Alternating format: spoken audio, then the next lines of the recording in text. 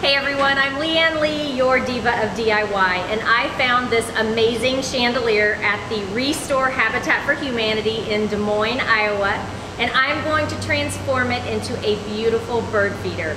So please come see me and the tiny house where we will be displaying this bird feeder at the Des Moines Home and Garden Show. I'll see you soon on the inspiration stage.